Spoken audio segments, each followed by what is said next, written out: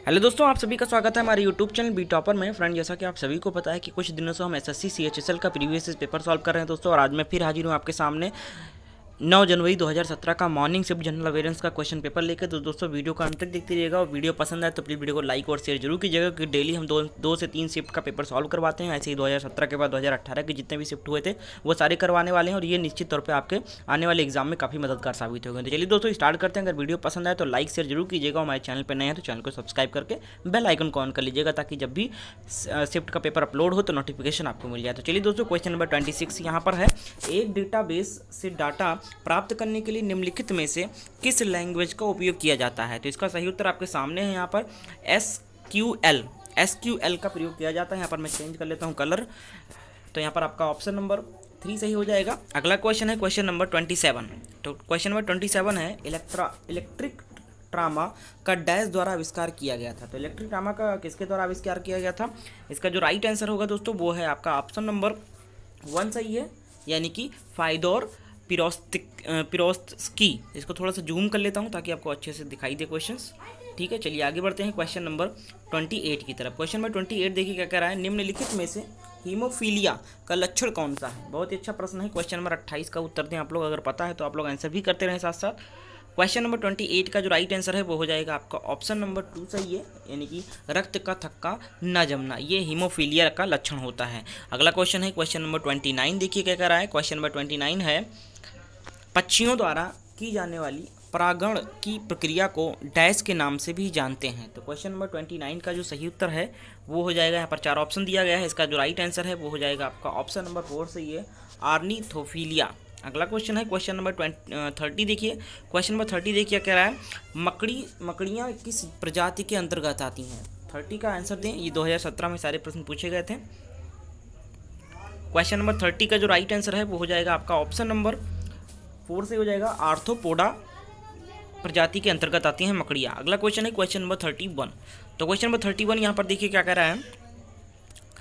निम्नलिखित में से किसका घनत्व सर्वाधिक होता है? तो चार ऑप्शन दिया गया है, पानी, बर्फ़ एथिलीन या एसिड टोन तो इनमें से चार, इन चारों में से किसका घनत्व सबसे सर्वाधिक होता है?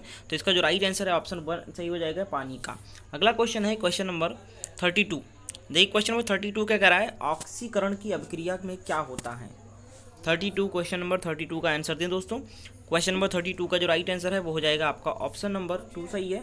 इलेक्ट्रॉन्स खोते हैं। अगला क्वेश्चन है क्वेश्चन नंबर थर्टी थ्री देखिए। क्वेश्चन नंबर थर्टी थ्री है, नालंदा महावीर महाविहार साइट डैश में है। तैंतीस का आंसर दें आप लोग।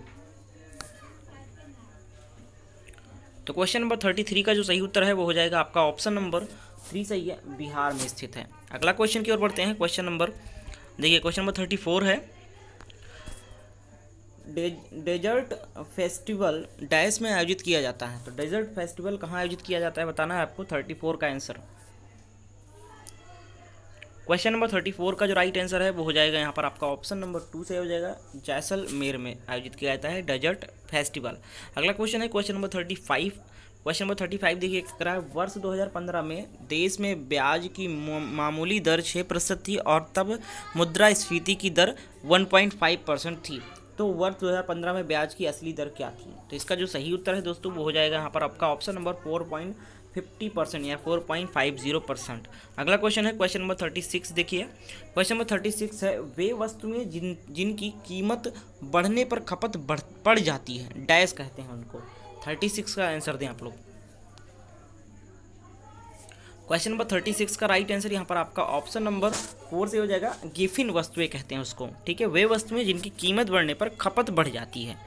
अगला क्वेश्चन है क्वेश्चन नंबर थर्टी सेवन देखिए क्वेश्चन नंबर थर्टी सेवन क्या कह रहा है यहाँ पर?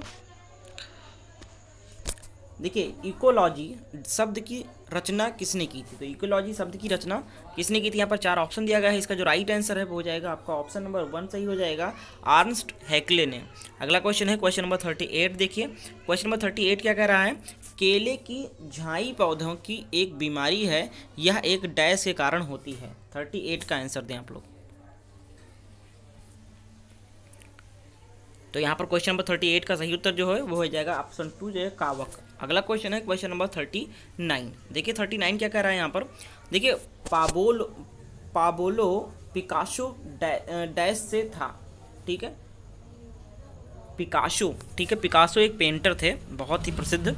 तो कहाँ के थे आपको बताएँ? इनका पूरा नाम लिखा है क्वेश्चन नंबर थर्टी नाइन का जो राइट आंसर है, वो जाएगा आपका ऑप्शन नंबर थ्री से ही स्पेन से थे। अगला क्वेश्चन है क्वेश्चन नंबर फोर्टी देखिए क्वेश्चन नंबर फोर्टी क्या कर रहा है? निम्नलिखित तो भारतीय मिर्चियों में से कौन सी विश्व की सबसे तीखी मिर्चियों में से एक मानी जाती है? तो फोर्टी नंबर का आंसर दें आप लोग, अगर पता है आपको। क्वेश्चन नंबर फोर्टी का जो राइट आंसर है दोस्तों वह है आपका ऑप्शन नंबर टू सही है, भूत महाबोरा। अगला क्वेश्चन है क्वेश्चन नंबर फोर्टी वन देखिए क्वेश्चन नंबर फोर्टी वन क्या कर रहा है? सबसे गर्म ग्रह का नाम बताइए। फोर्टी वन का सही उत्तर क्या है? इजी क्वेश्चन है। इसका सही उत्तर जो है वो हो जाएगा आपका ऑप्शन टू सही हो जाएगा शुक्र, ठीक है? तो यहाँ पर अभी बहुत से लोग लगा देते हैं बुद्ध, क्योंकि बुद्ध जो है वो सूर्य से सबसे निकट है, लेकिन बुद्ध गर्म नहीं है। बुद्ध के बाद जो शुक्र है वो ज़्यादा गर्म होता है यहाँ पर, ठीक है? आपका ऑप्शन टू सही है। क्योंकि इसमें कुछ ऐसे केमिकल ऐसे पदार्थ पाए जाते हैं जिसके वजह से ये ज़्यादा गर्मी अवशोषित करता है। अगला क्वेश्चन है क्वेश्चन नंबर फोर्टी टू है। देखिए, महात्मा गांधी की हत्या किसने की थी? तो सभी को पता होगा, जैसे ही ऑप्शन देखेंगे आपको पता चल जाएगा नाथूराम गोडसे। ऑप्शन वन यहाँ पर सही है। अगला क्वेश्चन है क्वेश्चन नंबर फोर्टी थ्री देखिए क्वेश्चन नंबर फोर्टी थ्री क्या करा है? महाराजा रणजीत सिंह के राज्य की राजधानी क्या थी? बताएँ आप लोग। क्वेश्चन नंबर फोर्टी थ्री का जो सही उत्तर है, वो हो जाएगा आपका ऑप्शन नंबर फोर से, ये लाहौर थी उनकी राजधानी महाराणा रणजीत प्रताप सिंह की।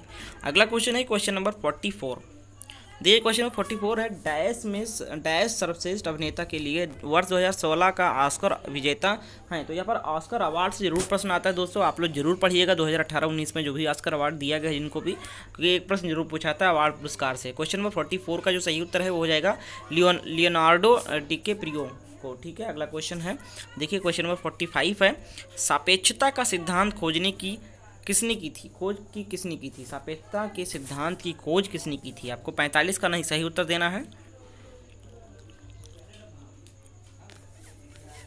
क्वेश्चन नंबर फोर्टी फाइव का जो सही उत्तर है दोस्तों, वो हो जाएगा आपका ऑप्शन नंबर टू सही है अल्बर्ट आइंस्टीन ने। सभी का सही उत्तर होगा। सापेक्षता के सिद्धांत की खोज अल्बर्ट आइंस्टीन ने की थी। अगला क्वेश्चन है क्वेश्चन नंबर फोर्टी सिक्स। देखिए, क्वेश्चन नंबर फोर्टी सिक्स कह रहा है? महासागर की गहराई को मापने के लिए किस उपकरण का उपयोग किया जाता है? बहुत ही अच्छा प्रश्न है, उपकरण से प्रश्न आया इंस्ट्रूमेंट से। क्वेश्चन नंबर फोर्टी सिक्स का उत्तर देखिए क्या है इसका?